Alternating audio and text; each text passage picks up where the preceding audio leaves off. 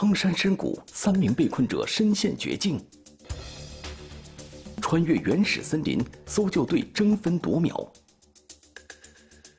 悬崖行走，峭壁索降，精心十二小时。搜救队如何完成使命？极限营救，天网栏目即将播出。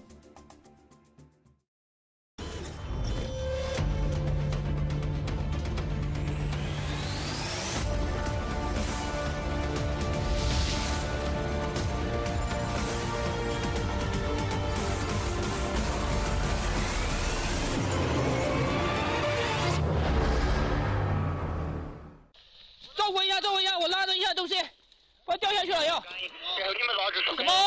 你手就塌了。没事没事，主要是我这里这里有一个队员，不要动，不要动，加入加入，拿绳子，赶紧。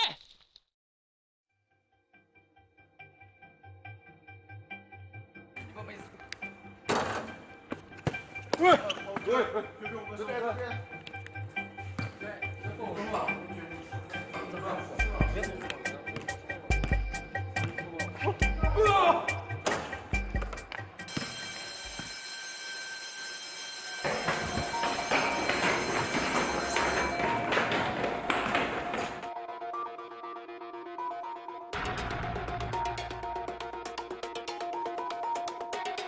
二零一九年六月五日下午六点左右，云南省大理白族自治州消防救援支队大理市大队古城消防救援站接到求助电话，三名游客被困于苍山峡谷深处的悬崖之上，处境危险，进退不得，只好拨打幺幺九求助。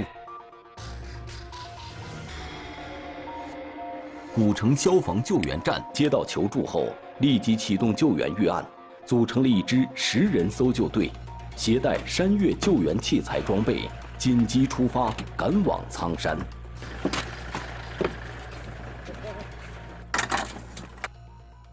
我们消防救援支队呢，专门在内部呢组建了一支山岳救援分队啊。那么这支分队的队员呢，都是相这个经过挑选的，呃，在体能方面啊，在技战术方面比较合适山岳救援的。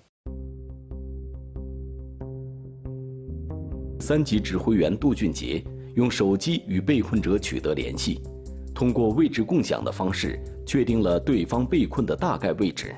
他们位于苍山白鹤溪峡谷附近。由于白鹤溪峡谷距离喜马潭索道的中站七龙女池站比较近，所以搜救队决定先搭乘索道到达七龙女池站，再从这里由高往低。向白鹤溪峡谷方向行进。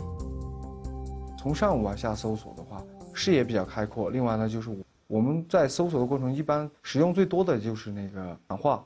那我们从上面往下喊的话，他下面的人肯定听得比较清楚。从上往下的搜救路线，不仅可以提高搜寻目标的效率，同时也有利于在山间行进中保存队员的体力，控制消耗。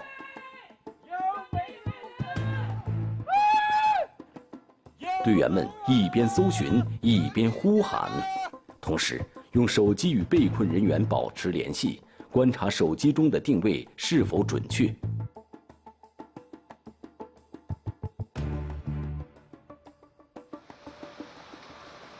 晚上七点左右，搜救队到达白鹤溪峡谷附近，这是手机位置共享所显示的地点。但是，队员们从峡谷口向谷中喊话。却始终没有人回应。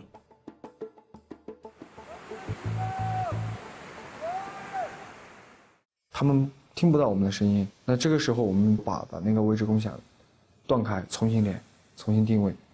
通过再次位置共享，搜救队员发现这一次的定位位置突然改变了，与之前多次确认过的定位坐标相差很大。苍山上的信号，包括定位信号。呃，你在苍山上定位，有可能会定到大理的海东。新的定位显示，被困者所处的位置在白鹤溪峡谷以北的绿玉溪峡谷附近。从白鹤溪到绿溪这一段路，嗯，可能应该在一个一公里左右。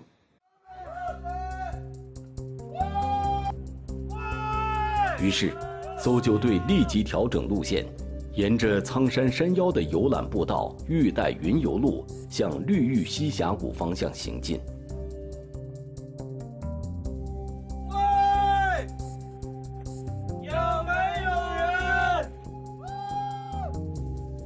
员们不停朝谷底喊话，同时仔细观察峡谷中的情况，希望可以找到被困者的身影。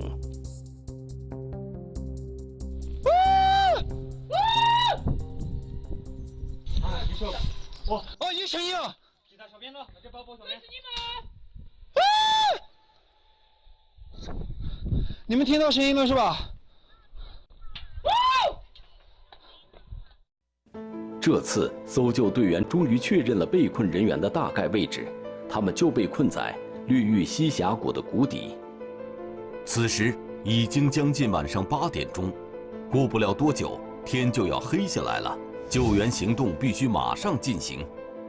由于有海拔高的原因，加上这个呃苍山的地处高原，真正爬到山里面，那么气温是很低的。夜间呢，苍山的气温它会骤降，啊，非常的寒冷，那么人就会咱们说的就会冻死，也是因为身体失温而死亡。搜救队必须抓紧时间，尽快到达被困人员身边。但是这三个人被困的位置。属于苍山的原始区域，没有开发过。有一点是可以肯定，没有路，没有路能到达他们所在的位置。所以当时我们也一直在跟他们说别动，啊，一直也在跟他们鼓励他们，我们来了来了。三个年轻人被困在绿玉溪谷底，如何用最快的速度赶到他们身边？搜救队中出现了两种不同的意见。我们沿被困人员的路线往下搜救。我的意见是迂回下降。我的意见也是迂回下降。沿被困人员的路线搜救不容易出错。迂回下降的话，耗时比较短。迂回向下可以节省大量的体力。假如从搜救队所处的位置出发，沿三名被困人员走过的路线去到他们被困位置，队员们需要背负装备，在情况复杂的山路上徒步五个多小时，耗时费力。因为我们现在所在的位置离他们是非常近的，无非就是我们在山上，他们在山山下。从定位的角度上来看，可能有个两百多米。还有一个因素呢，就是他们所给我们描述的那个地方，我们下不去。啊，这个也是一个重要的呃参考点。最后，搜救队决定从山脊的背坡迂回向下，进入到苍山的原始丛林中。开出一条路来，向谷底进发。慢点啊！哦，注意脚底下。好。就是由指导员开路嘛，他是相当于是探路的。挂到了，挂到，等一下。五。苍山的原始丛林植被茂盛繁密，越往深处走越难以行进。好，走，继续，继续，继续前进。这边可以走，可以下来。OK OK。牵连交错的枝条极易挡住视线，使人难以辨清去路。而丛林中日积月累形成的厚厚的腐殖质层，松软湿滑，也掩盖住了掩藏其下未知的危险。全部是那种腐殖层，而且特别厚，就是一脚踩下去就陷进去那个。它土质比较松软，上面的那些石头也是比较松，比较松，嗯，随便一踩，啪就掉下去了。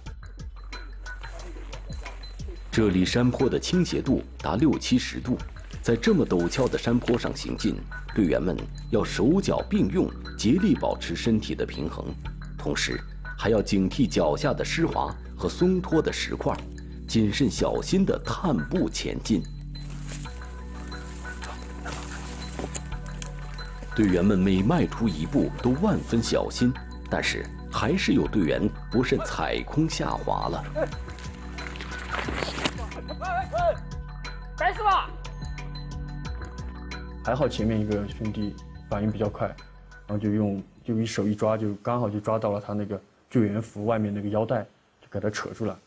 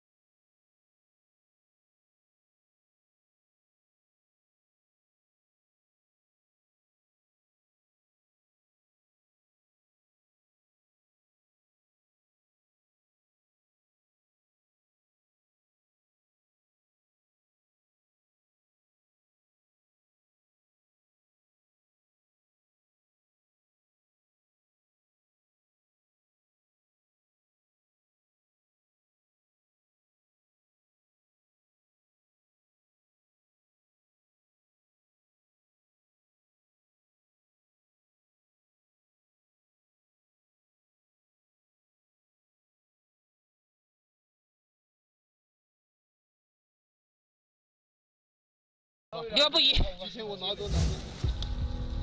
此时天已经完全黑了下来，即使是白天，在苍山的原始丛林中行进都极易迷失方向。而到了晚上，被黑暗笼罩的丛林更像一个巨大的迷宫。在这种情况下，队员们的野外救援经验就显得尤为重要。而如何在苍山的原始未开发区域中利用参照物辨识方向，也是一项非常重要的技能训练。这一个做标记的话，可以有效的指引后面的后方就是支援的人员也好，或者后方就是掉队的这个队员。还有一种做标记呢，就是我们利用就是这个布头的这个植被，然后比如说这个是我们的一一一个植物，我就例外我就用另外的这个，它有这个明显的区别，跟其他这个是不一样的，也当成是我们的队员之间的一个信号的一个交流，是吧？例如我的这个卡刀，我可以做一个就是箭头的方向，这个的话只有我们自己的队员可以掌握这个。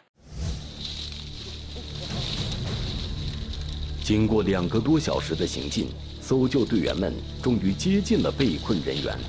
啊！上哪边？哪边？哪边？好，下来了！来了！这个外面。他看到我们了。啊，他有我们这里头。因为这个，在我们的位置比赵德光要靠三两百米到三百米左右。峡谷最底部可能无法到达被困人员所在的巨石。搜救队试着迂回绕到崖壁上略高于巨石的位置，然后再想办法从崖壁上下到巨石上。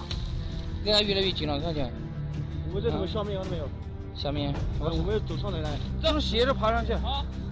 但是，当搜救队员到达崖壁上略高于巨石的位置时，他们却发现，崖壁与巨石之间还隔着二三十米的距离，无法利用绳索过去。爬到石块上打灯，他们在下面就给我们打电话了，就说看到我们灯光了，但是我们往前打灯，往下打灯，发现什么都看不到，全是空的。前面就是我们踩的这个地方，它底下是空的，我们往下看是看不见任何东西的。第一，我们照到树，就证明我们可以看到底；如果没照到树，下面是黑的，就证明这个是看不到谷底的，而且是很深的。搜救队和被困人员之间虽然只相距几十米，却隔着悬崖和深谷。搜救队必须另寻他路。搜救队决定下到峡谷底部，再想办法从谷底到达巨石上。六月五日晚上十点二十分左右，搜救队终于到达了绿玉溪峡谷的底部。我看见灯了。虽然想要到达巨石的位置，还需要不断翻越、攀爬遍布在谷底溪流中的巨石，但此时搜救队员们觉得胜利在望，不断用声音鼓励着巨石上焦急的被困人员。马上到了，马上到了！然而，当搜救队员到达巨石下面后，他们发现。巨石距离谷底有三十多米高的距离，人在上面爬不上去，现在正在想办法。现场进行了全面的勘查，我左手边的山上方有一个地方是跟跟他们所在的巨石是相连的。经过现场勘查，搜救队最终决定将十名队员分成两组，第一组顺着峡谷南侧山峰的山脊向上攀爬，这是唯一能到达那块巨石上的路。到达峰顶后。再往被困者所处位置靠近。第二组在谷底，每隔几十米站一个人，观察山崖地形和山势，以灯光为参照，确认第一小组所在的位置，并为他们指引行进方向。云明，云明，看我的灯光，我现在在哪里？我大家人不能走。不要往前走，不要往前走，那个地方是空的，退退退，往后退。被困人员在你们的左前方，大概二十米的位置，前面悬崖，往后退。那边是个斜坡，空的。好的，明白明白。非常陡峭的一个断壁，越到往上越陡峭，因为它是个断壁悬崖，一失足掉下来，那后果不堪设想。我在前面踏路，基本上就是连滚带爬，一只手可能可能。就是拉着一个树枝。如果说是我下去踏路，万一这个条路行不通，行不通的话，我们携带这个绳索，他们可以就是四个人可以把我拉上来。收到，收到，排长。看一下我们现在什么位置？能看到我的灯光吗？离被困人员的话还是比较远，你们还要往前面走，继续往上走。我们现在往哪个方向走？那个你你给我打个灯。好的好的，你要往上走，你看我的灯光。我自己然后踩空了以后，抓的地方也断了，然后滚下去以后，被我队友把我拉住。因为我在下面给他们指路的时候，我在对讲机喊排长，喊了好多声，他没反应，然后突然过了一会儿。有一个另外一个队员回的我说，排长掉到下面去了，掉到下面掉下去了，然后对讲机丢了。经过一番惊险和周折，第一搜救小组的队员们到达一处悬崖，距离被困人员所在的巨石六七米。他们通过索降到达了巨石上。见到那个被困人员的时候，当时他们三个已经是在冷的呢，都被那个冻得瑟瑟发抖。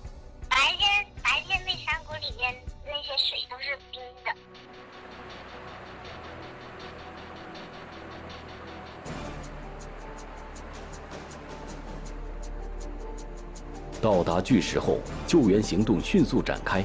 谷底的队员和巨石上的队员从各自的角度观察巨石及其周围的环境地形。从巨石上受光线和角度限制，队员们只能看到下方五六米的地方还有一块大石。谷底队员反馈，这块大石距谷底有三十米左右的落差。那块石头，它是向外伸出来，下面全是悬空的。根据巨石上的情况，搜救队员准备用索降的方式将被困人员转移到谷底。离那个石台子最近的地方找了几根大树，然后做了那个支点，又通过，嗯，找了几个嗯巨石，做了保护支点，确保这个下降的过程中的绝对安全。搜救的队员们都具有丰富的野外救援经验，带人索降对他们来说并不是什么难事儿。但这次要在黑暗中从巨石上锁降，还是给他们出了个难题。但是也也有考虑到，因为下面是悬空的，所以，啊，过转角的这个地方肯定非常难。就绳索的受力方向已经被这个转角的地方改变了，在这个点发生冲坠或者发生这种，嗯，冲击力，很容易就把车绳索给损伤到，或者就是。出现绳索断裂啊这种情况，这种特殊条件下的锁降，对搜救队员的技术和心理都是一种挑战和考验。经过研判，搜救队决定由苏子森带三个被困人员中体重最轻的女孩最先锁降，同时在下降过程中观察四周环境。反馈给之后带人锁降的其他队员。一般情况下，搜救队采用被救人员与救援队员身体正面相对的固定方式进行锁降，但由于这次情况特殊，采用何种固定方式，搜救队进行了几次尝试。就很高嘛，然后感觉也很危险，但是就那个时候就什么都不怕，就就感觉就一点都不怕，很相信就觉得就会安全的下。最后，苏子森与被困女孩采用的是身体正面相对的固定方式进行锁降。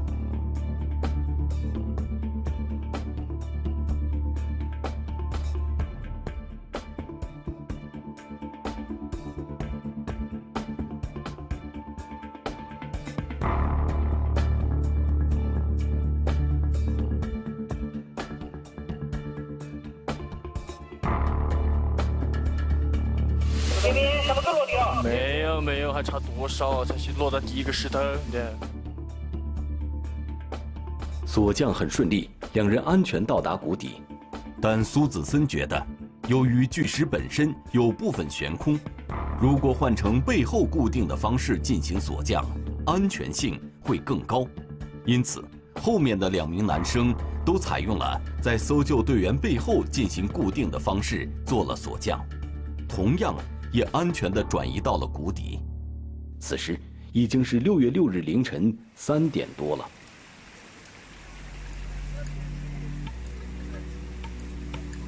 不过，所有人想要走出峡谷，还要沿着溪流一直走两三公里。夜间的溪水冰凉湍急，暗藏危险。即使有强光手电筒照明，峡谷中的黑暗还是让人提心吊胆。遍布溪水中大大小小的石块，更是令脚下步步惊心。不过，搜救队员们分工明确，有的探路，有的接应，有的保护。彼此默契协作，在漆黑的山谷中开辟出了一条安全通道。扶着扶着，撑脚撑脚撑脚，直接撑脚。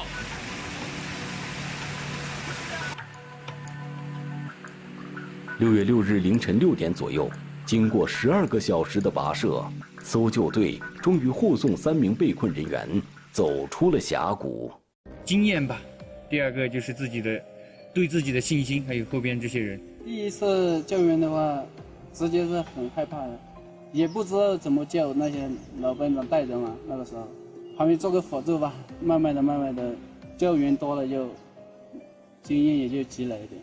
我们从空中啊看苍山，应该说只看到一片森林，呃，对下面的情况呢，只有到实地才能看得到。其实都必须要靠人走到。在针对苍山救援的日常训练中，在高海拔环境中负重徒步的体能训练，熟悉苍山不同海拔的地貌环境、地形、路线、天气情况等，都是最基础且必要的训练科目。面对苍山中各种各样的复杂环境和地形，队员们需要共同协作，一起应对和解决可能出现的情况。艰苦的日常训练。大大提高了队员之间的默契和团队精神。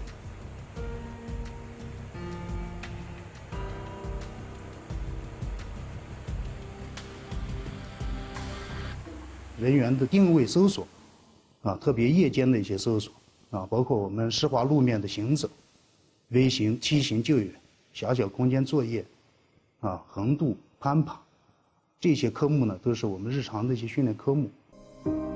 苍山作为大理著名的景区，每年吸引数十万游客。然而，在其巍峨的外表下，也蕴含着大自然强悍的力量。茫茫苍山吞噬过数百条生命，其中不乏经验丰富的登山客。此次被困的三个年轻人以为沿着溪流走就能用更短的时间下山，但是这恰恰是他们犯的最大的，也是最典型的一个错误。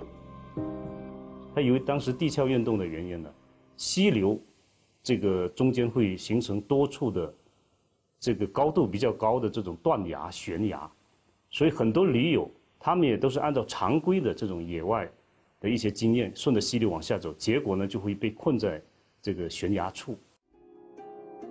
多年来，搜救队员一次次登上苍山，一次次深入险境，将被困者们平安救出。